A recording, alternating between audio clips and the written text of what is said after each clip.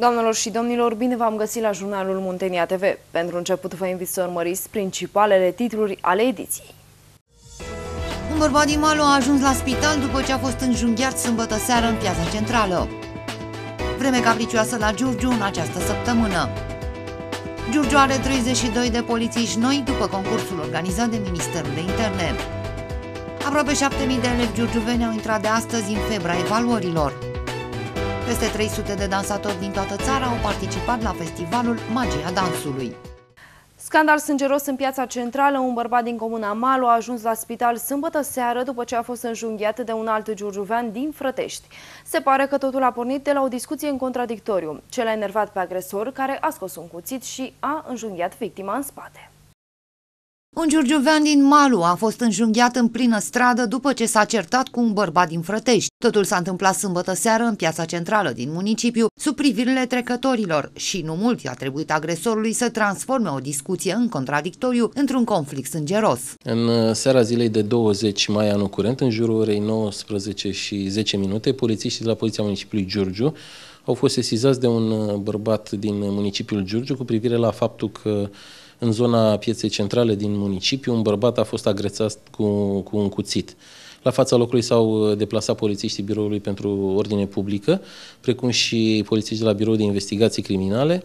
Din primele investigații efectuate rezulta faptul că a fost vorba despre o altercație între două persoane, un bărbat de 39 de ani din uh, comuna Malu, județul Giurgiu, care a fost agresat cu un uh, cuțit de către un bărbat de 48 de ani din comuna Frătești, Victima a fost transportată la Spitalul Județean de Urgență Giurgiu, unde a rămas internată pentru acordarea de îngrijiri medicale, nefiindu-i pus în pericol viața. Chiar dacă victima nu a depus încă plângere, polițiștii s-au sesizat și au întocmit un dosar de cercetare penală pe numele agresorului pentru infracțiunea de loviri și alte violențe. Am ajuns în ultima săptămână din mai și vara încă pare departe din punct de vedere meteorologic. Dacă prima zi a acestei săptămâni ne-a dat ceva speranțe, prognoza nu ne aduce însă vești la fel de bune. Ce ne așteaptă în săptămâna ce tocmai a început la Giurgiu, aflăm din materialul următor.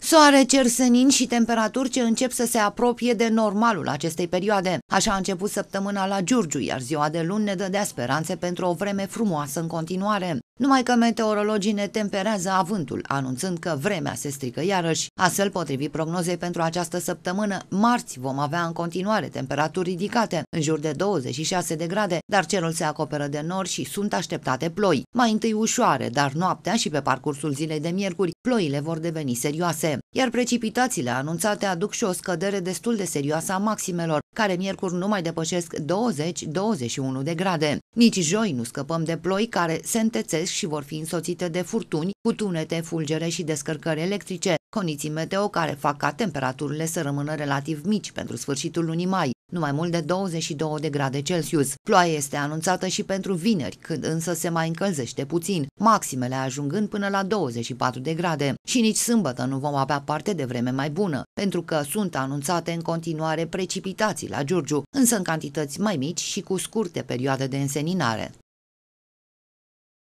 Au trecut prin teste psihologice, probe de pregătire fizică și, în final, de temutele probe scrise. Iar acum și-au aflat rezultatele finale. 32 de tineri din județul Giurgiu au reușit până la urmă să devină polițiști în urma concursului organizat de Ministerul de Interne.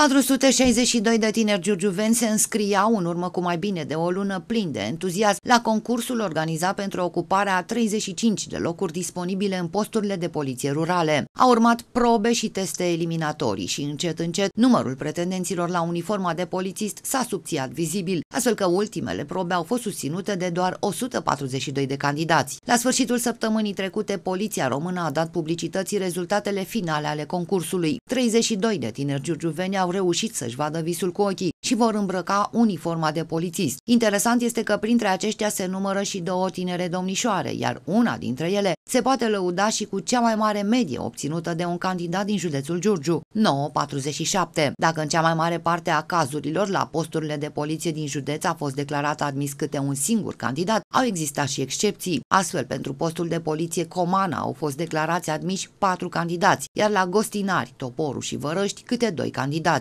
Cele două fete care au reușit să treacă de toate probele de concurs au obținut posturi la Comana și Daia. Aproape 7.000 de elevi giurgiuveni susțin începând de astăzi evaluarea competențelor fundamentale.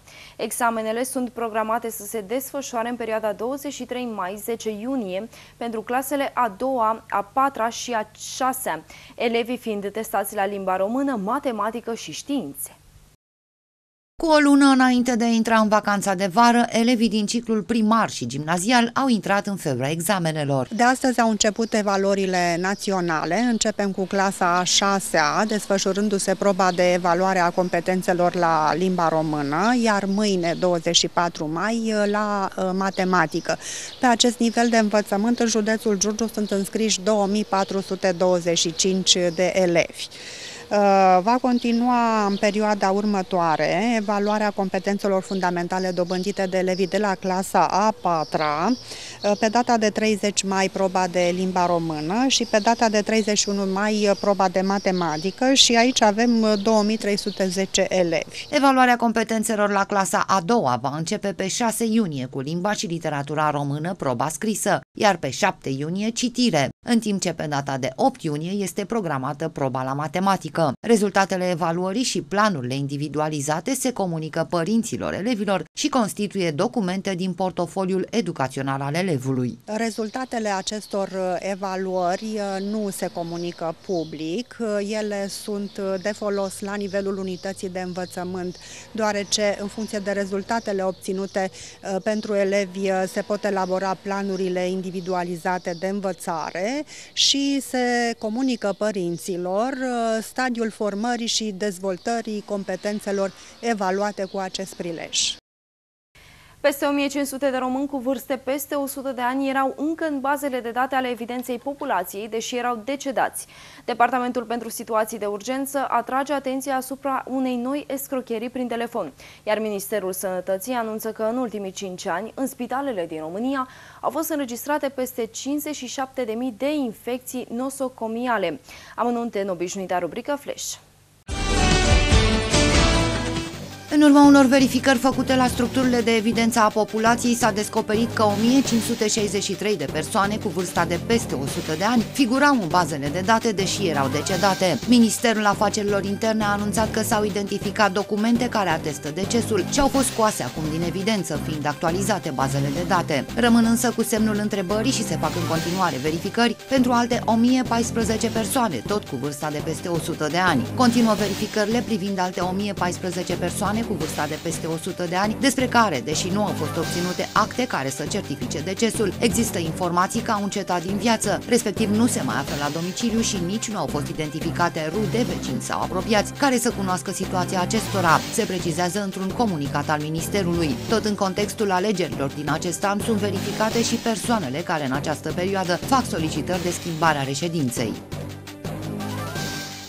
Oficialii Departamentului pentru Situații de Urgență atrag atenția asupra unei noi metode de înșelăciune, una în care este implicat numele smurd. Nu dați curs solicitărilor în situația în care sunteți sunați și vi se spune că în urma unui accident în care au fost implicate rude, este nevoie de intervenția elicopterului smurd, iar pentru această intervenție vi se cer bani. Facem precizarea că toate intervențiile smurd sunt gratuite. Nici pacienții și nici medicii care solicită intervenția elicopterului smurd nu trebuie să plătească pentru misiunile de salvare. Dacă sunteți sunteți victima unei astfel de înșelătorii, vă rugăm să anunțați autoritățile. Se arată într-un anunț al Departamentului pentru Situații de Urgență.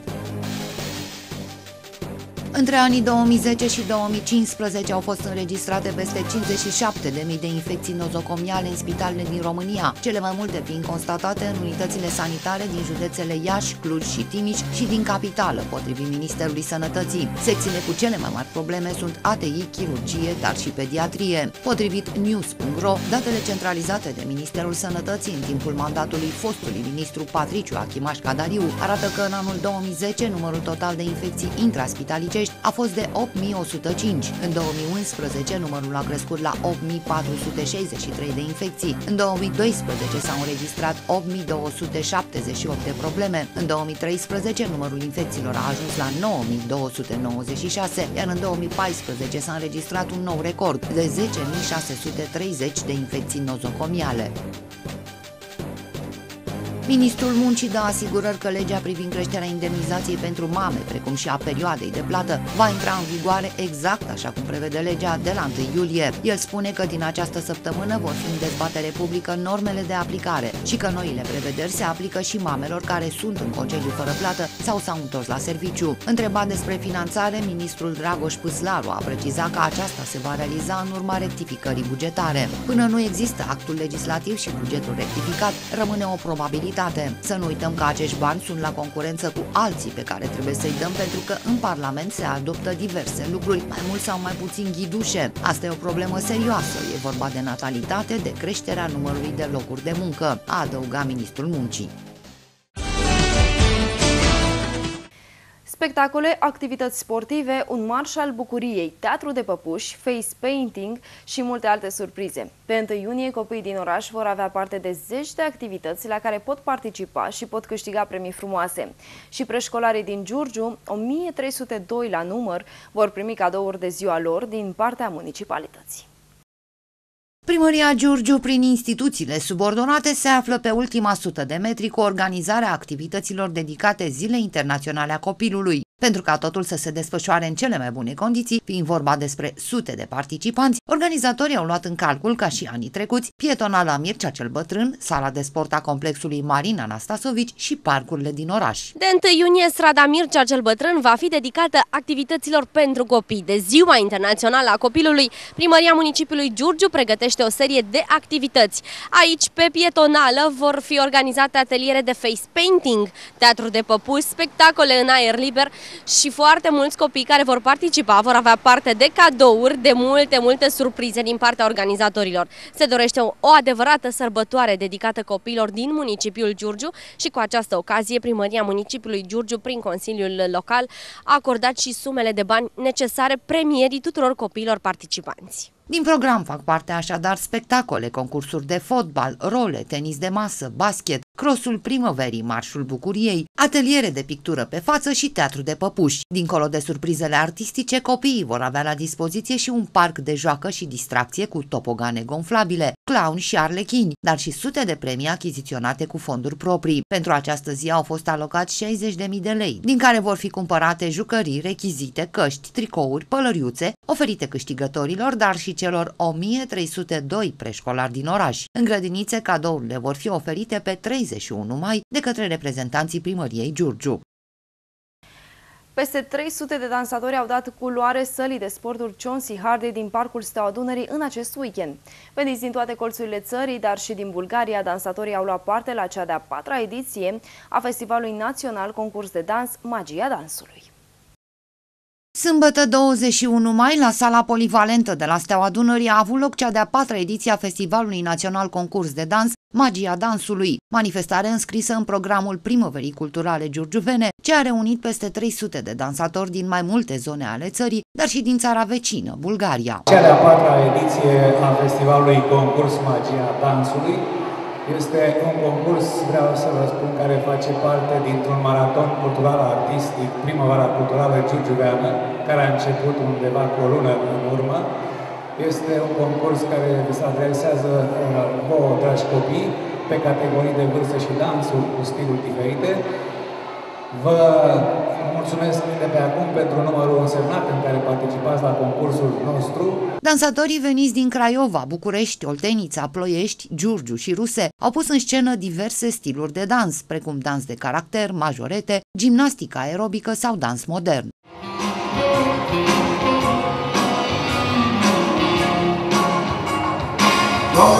Doamnelor și domnilor, trupa Amadeus,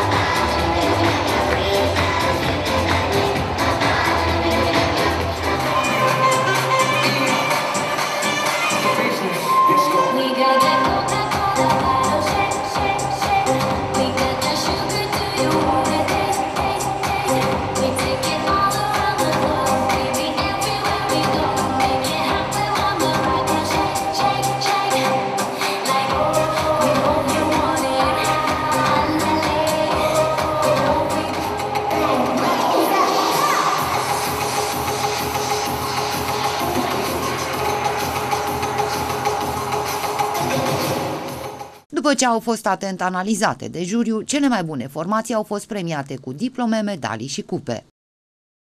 Pentru echipele din campionatul județean s-a scurs și penultima etapă a sezonului. Liderii celor două serii s-au impus în partidele pe care le-au disputat în weekend, consolidându-și astfel pozițiile din cele două clasamente. Cum s-au terminat și restul partidelor din seria Sud și seria Nord, aflați din materialul următor. O singură etapă a mai rămas pentru echipele din campionatul județean până la meciurile de baraj, după ce sâmbătă au disputat partidele din cea de-a 25-a etapă. Pentru liderul din seria Sud, Arsenal Malu, confruntarea din penultima etapă cu cei de la Călugăreni a adus 3 puncte și un plus de 9 goluri la gol averaj, ceea ce face ca ocupanta locului al doilea, Dunărea Giurgiu, să aibă în minus 20 de goluri, chiar dacă sâmbătă a marcat 7 goluri în poartea celor de la Mihai Bravu. Iată cum s-au terminat și celelalte meciuri din seria Sud, dar și cum arată clasamentul înaintea ultimei etape.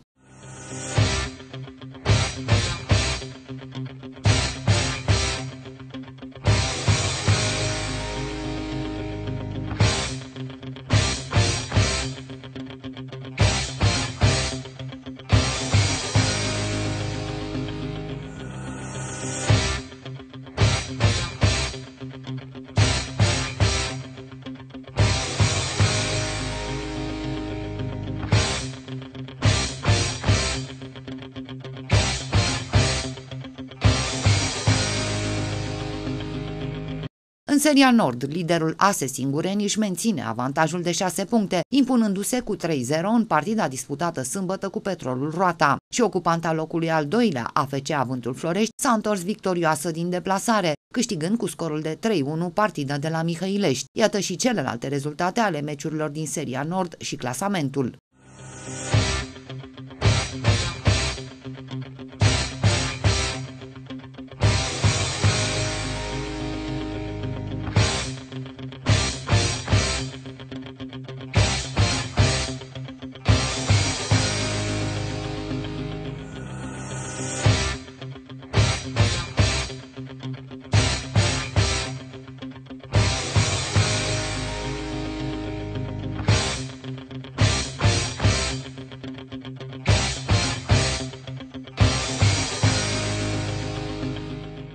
După disputarea ultimei etape, care va avea loc la sfârșitul acestei săptămâni, primele două clasate din cele două serii vor disputa meciurile de baraj, meciuri care vor desemna și campioana județului. Numele său a rămas în istorie ca unul din cei mai crunți criminali de război, care avea pe conștiință moartea a milioane de oameni nevinovați. Capturat la sfârșitul celui de-al doilea război mondial, șeful temutului SS, Himmler, s-a sinucis la 23 mai 1945, înghițind o capsulă de cianură. Despre acest eveniment în rubrica Memoria zilei.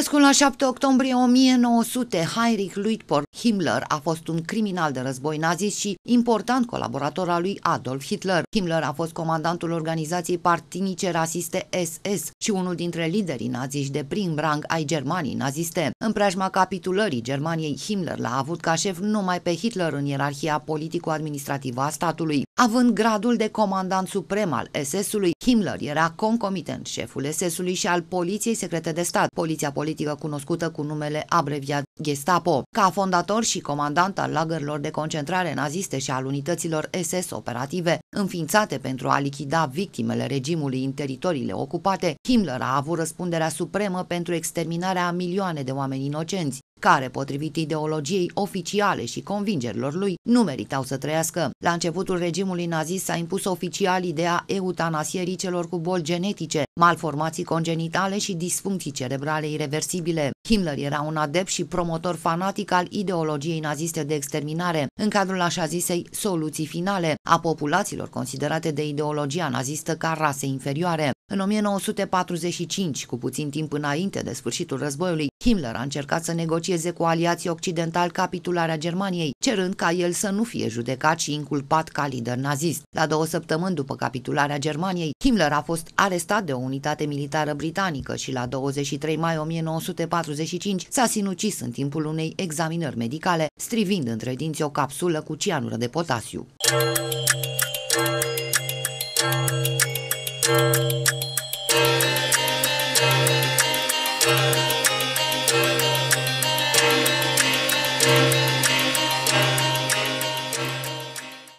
Vă invit să revedeți principalele titluri ale ediției.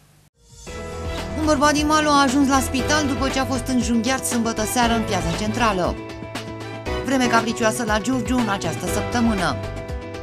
Giurgiu are 32 de polițiști noi după concursul organizat de Ministerul de Interne. Aproape 7.000 de elevi giurgiuveni au intrat de astăzi în febra evaluărilor. Peste 300 de dansatori din toată țara au participat la festivalul Magia Dansului. Doamnelor și domnilor, știrile se opresc aici. Rămâneți însă alături de noi. La Muntenia TV urmează emisiunea de dezbateri electorale față în față pentru Giurgiu. Eu sunt Alexandra Preda, vă mulțumesc pentru atenție și vă aștept și mâine cu un nou jurnal de știri, începând cu ora 19 și 30 de minute. La revedere!